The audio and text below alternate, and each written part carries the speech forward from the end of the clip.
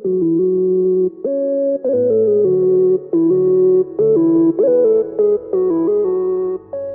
what's going on guys? I'll be doing a review for a another product from a company called ZhiZhu. Um, I did their solar power bank and one of their mice or something like that, I believe.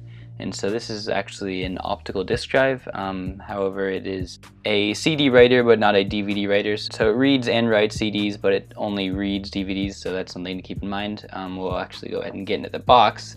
Probably something that's good to do. So you see it's pretty well packaged. Um, shipping wise, it won't have any problems because it has the foam on the side, which is really, really nice to see.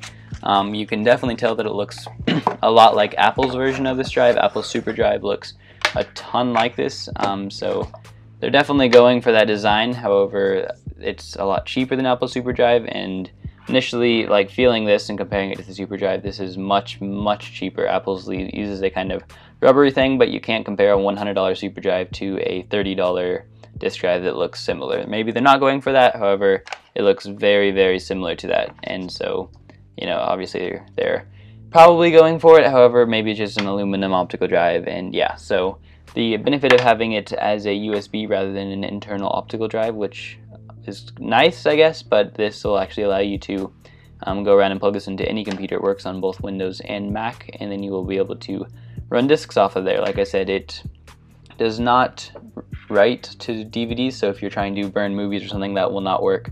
However, CDs work perfectly fine.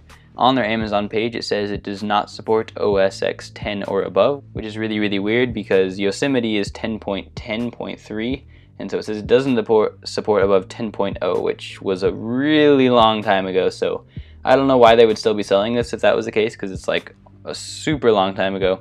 However, this works perfectly fine on 10.10.3, which is Yosemite, and so it's saying does not support OS X 10.0 and above I don't know why they say that because it clearly does. Maybe they, it doesn't work on some version, like 10.9 or something like that. I don't know. I don't know why it says that on their Amazon page. However, this works perfectly fine on most versions of Mac that I've used it on. And I haven't tried it on Windows, but I assume it works perfectly fine over there because it says it supports it. So it probably works over there.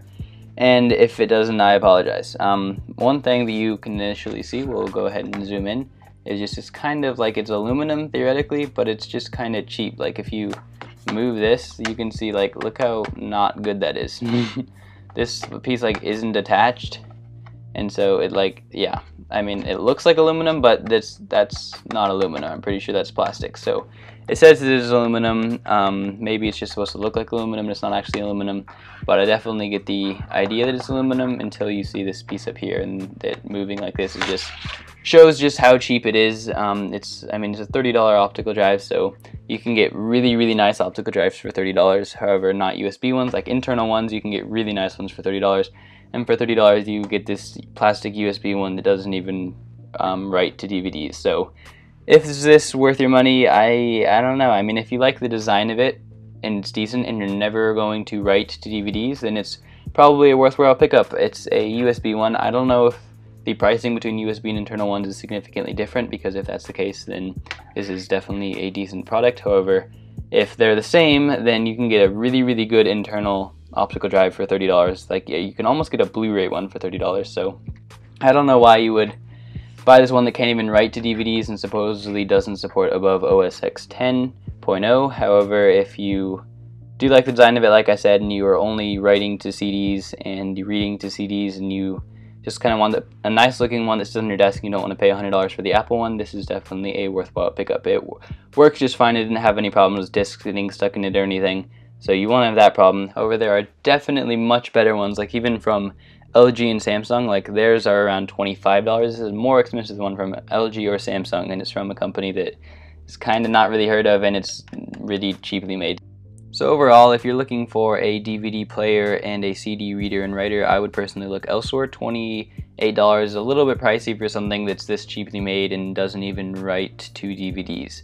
Um, you can get one from LG or Samsung for around $25, and I don't know why you'd go with a less known brand and has less features and whatnot if you can get one for even cheaper that's better. So I personally wouldn't recommend this, but you can go ahead and pick this up if you're interested. The link will be in the description as it always is.